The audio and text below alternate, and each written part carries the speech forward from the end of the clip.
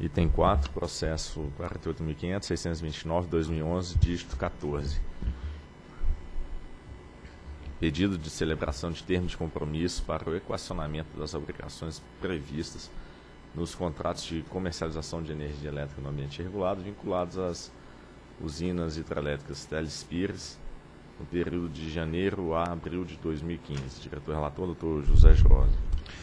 A Companhia Hidrelétrica Telespires sagrou-se vencedora do 11º leilão de energia nova em 2010, negociando 778 lotes com entrega a partir de 1 de janeiro de 15 e obtendo concessão para a exploração da usina termoelétrica de Telespires. Muito embora o início da obrigação de entrega tenha sido fixado no CCR em 1 de janeiro de 15, os contratos de concessão estabeleceram o início de operação comercial em data posterior, sendo a unidade geradora número 1 em 30 de 4 de 2015 e as demais em datas posteriores. Em outubro de 13, a Telespires encaminhou o pedido de antecipação de suas, unidades geradoras com a consequente aditiva do seu contrato de concessão. Diversas áreas técnicas dessa agência foram envolvidas na análise desse pedido, recomendando seu indeferimento, por possível prejuízo aos compradores do CCR, vinculados à UHE Telespires.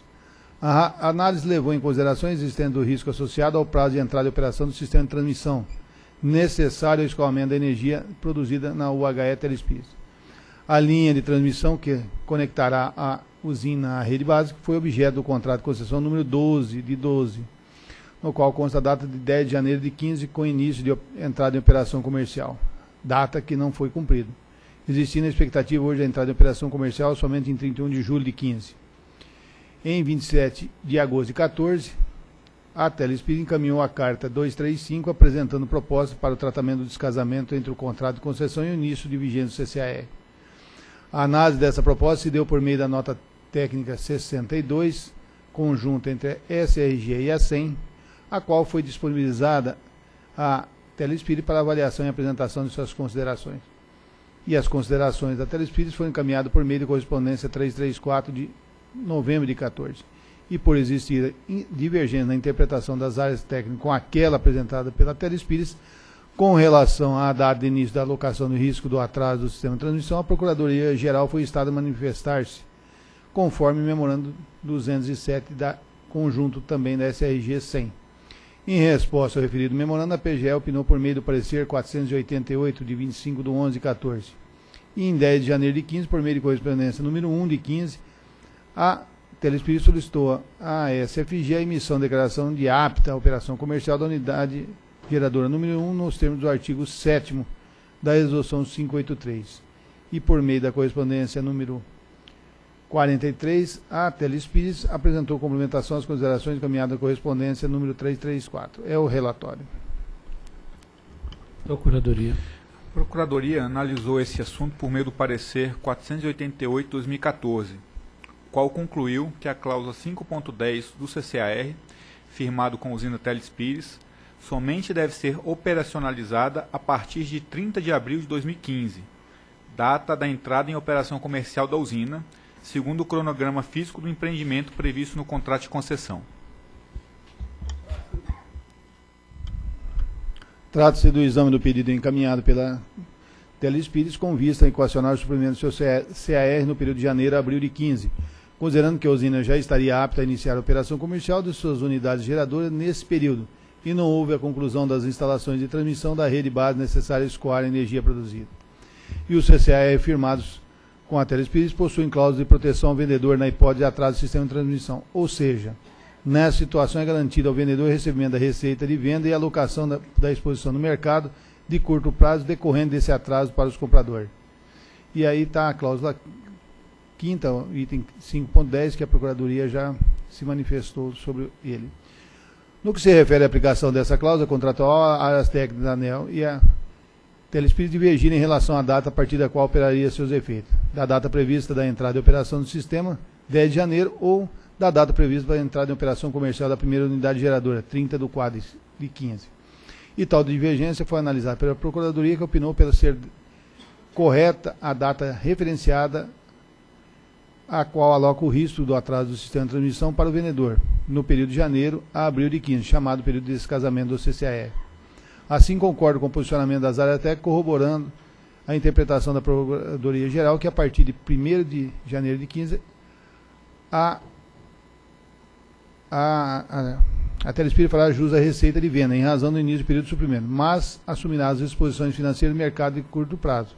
E tal situação é válida até 30 do 4, a partir do quando, caso persista o atraso do sistema de transmissão, a exposição passará a ser assumida pelos compradores do CCE. Superada essa questão, o fato é que até aqui não se identificou o descumprimento da Telespires no cumprimento das suas obrigações de entrada em operação das unidades geradoras considerando que essa empresa prevê essa entrada antes das datas estabelecidas no seu contrato de concessão. O fato, o que é benéfico para todo o sistema, desde que existam meios para escoar a energia produzida. Contudo, a estratégia de antecipar a entrada em operação como forma de suprir a obrigação de entrada de lastro de energia no período de descasamento não se mostrou exitosa, em decorrência do descumprimento das obrigações por uma terceira parte, o agente de transmissão. Registra que, para o período do descasamento do CCR, a Telespires teria obrigação de recompor a sua insuficiência de lastro, celebrando contratos bilaterais de compra de energia, o que não aconteceu, segundo a Telespires. É evidente que a Telespires poderia optar em antecipar suas unidades geradoras de modo a não necessitar recompor o lastro. Contudo, essa opção somente poderia ser exercida se houvesse possibilidade de escoar a energia produzida pela usina. Com a obrigação do agente para o período de descasamento é uma obrigação alternativa, ou seja, compra-se o lastro no mercado ou entrega-se laço próprio, sendo inexequível a última opção, caberia ao agente exercer a primeira opção e recompor o laço por meio da compra de contratos de mercado. Tender de modo diverso significaria alocar o risco do atraso de transmissão no período de descasamento aos compradores do CCAR, sem que esses tenham responsabilidade alguma sobre as circunstâncias do atraso. Ocorre que a conjuntura atual do setor elétrico, com os preços elevados no mercado de curto prazo, impactou o preço e o acesso aos contratos de recomposição de laço para o período de descasamento. Ressalta-se, contudo, que essa conjuntura não afasta a responsabilidade do empreendedor, que poderia ter contratado a recomposição em momento mais oportuno, uma vez que a obrigação de recomposição do laço para o período de descasamento era conhecida desde o momento em que aceitou participar do leilão do qual sagrou-se vencedor. A Telespire apresentou alternativamente uma proposta de metodologia de compensação da exposição no período de descasamento, transferindo ah, inicialmente para os compradores com posterior devolução. O agente sugeriu a criação de conta gráfica em megawatt-hora com o montante da disposição que seria posteriormente abatida de toda a energia secundária do MRE, que vier a ser contabilizada para a Telespires. E conforme analisado pelas áreas técnicas, as propostas não trazem neutralidade, considerando que a valorização da energia em momentos distintos pode acarretar também efeitos financeiros prejudiciais aos compradores a depender do valor do PLD, nos períodos de exposição com relação a esses parâmetros no momento da contabilização de energia secundária. E nesse sentido, a depender das previsões do PLD para os próximos quatro meses, e considerando que nos períodos de maior alocação de energia secundária os valores de PLD são reduzidos, é mais provável que o resultado financeiro para os compradores seja negativo. Contudo, concordo com as áreas técnicas no sentido que essa mesma conta gráfica poderia ser introduzida, em termos financeiros, ou seja, valorados ao PLD da exposição verificada.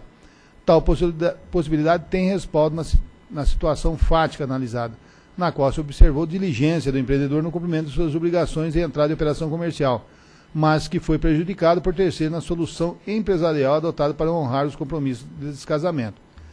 Adentrando nos detalhes da referida conta gráfica, acompanha a posição das áreas técnicas no sentido de que a receita de venda no período do descasamento não seja devida, por não ser razoável impor aos compradores, além do custo imediato de ter de arcar com a exposição no mercado de curto prazo, a manutenção do pagamento da receita de venda do CCAE no período.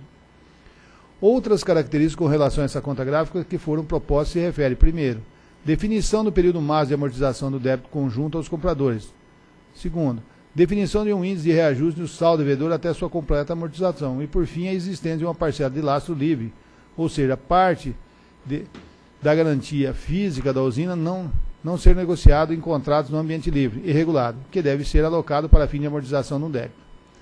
Para o item primeiro, a sugestão das áreas técnicas é que o estabelecimento de um prazo de 10 anos a partir do processo de contabilização de janeiro de 16, dentro do qual as posições positivas no mercado de curto prazo, decorrendo do processo de contabilização da CCS, seja utilizado para abatimento da conta gráfica.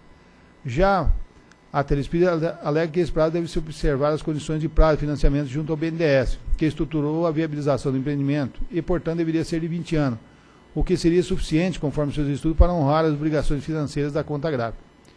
Com a amortização da conta gráfica dependerá da existência de energia secundária, o que está intimamente ligado à situação hidrológica futura, que não pode ser gerenciada pela Telespires, considera o prazo de 20 anos como razoável.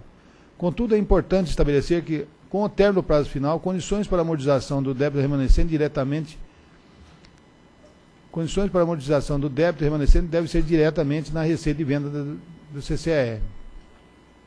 Com relação ao início da amortização dessa conta gráfica, entendo que deve ocorrer a partir da contabilização de agosto de 15, considerando que a previsão atual da conclusão da linha de transmissão que escoará a energia produzida pela Gaia Telespires é 31 de, de julho de 15.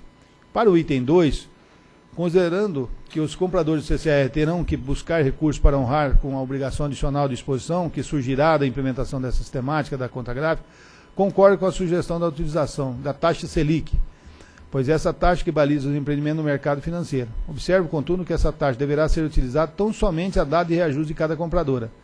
Após essa data, não haverá necessidade de se buscar recursos adicionais, passando as obrigações a serem corrigidas pelo IGPDI, conforme sugestão do agente, de modo a assegurar a correção monetária. No tocante ao item 3, foi sugerido uma definição de um percentual de laço livre a partir de agosto de 15, o qual a Telespírito se comprometia a não negociar no ambiente livre ou em outros leilões regulados, o que serviria como recurso para fim de abatimento da conta gráfica. Sobre tal sugestão, me parece mais adequado definir que qualquer resultado positivo que venha a ser alocado à Telespires no mercado de curto prazo, seja ele decorrendo dos efeitos da energia secundária ou existente de laço livre, seja utilizado para o abatimento da conta gráfica, o que evita a necessidade de análise de toda a situação contratual da Telespires durante o período de amortização.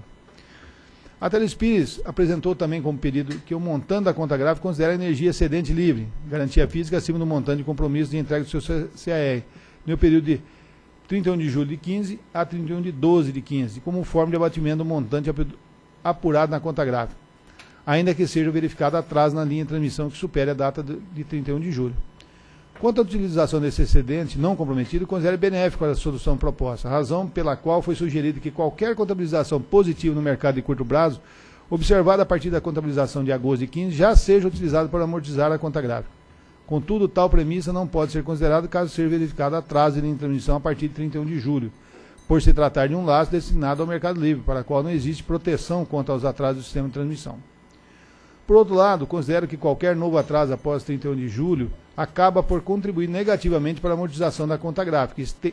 Entende-se razoável que para cada novo mês de atraso, o prazo de amortização poderá ser estendido em um ano, limitado ao prazo de amortização de 25 anos. Como forma de equacionar a situação trazida, figura-se pertinente a celebração de um termo de compromisso na forma da minuta anexa.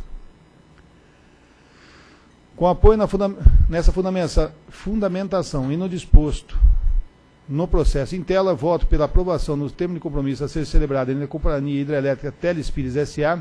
e a ANEL, na forma da minuta anexo, com o objetivo de equacionar as obrigações previstas no CCAR da HE Telespires, decorrendo do 11º leilão de energia nova de 2010, para o período de janeiro a abril de 2015. É o voto. Em discussão. Bom, quero parabenizar o relator e a equipe técnica que trabalhou nesse processo.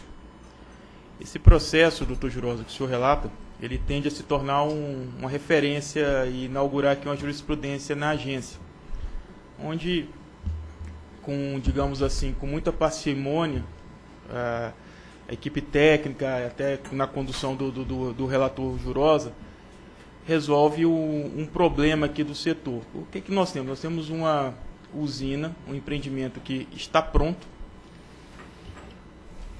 e que a entrega de energia dele ocorre a, a partir de janeiro.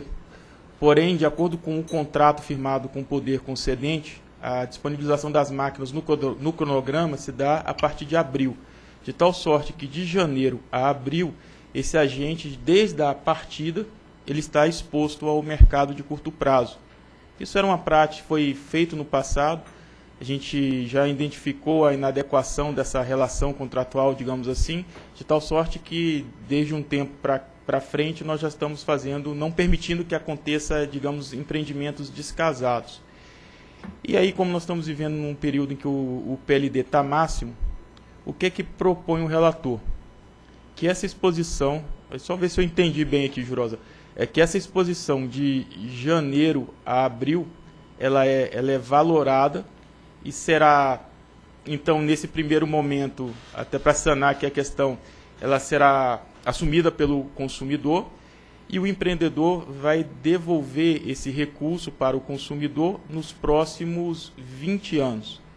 Então, observa-se que, enquanto isso não virou tarifa, ela vai ser corrigida pela Selic. A partir do momento do reajuste do aniversário tarifário, sendo revisão ou reajuste das distribuidoras que contrataram essa energia, para frente, a correção se dá, então, pela taxa de financiamento do, do, do BNDES, que é o IGP-DI. Exato. E a gente bota um marco de 20 anos, que se chegar em 20 anos o valor não tiver totalmente amortizado, e aqui eu estou falando dos valores em reais, não é o valor em energia, a gente está fazendo a conta em real, e se o valor não tiver totalmente amortizado, então vai se propor uma redução na tarifa da, da de compra de, de energia, não é isso? Para equacionar o valor remanescente até o final do, do período da, da concessão. Eu acho que aqui está observada, doutor Jurosa, duas premissas é, em que o senhor muito bem o faz, que é o seguinte, nós temos um empreendimento pronto, não podemos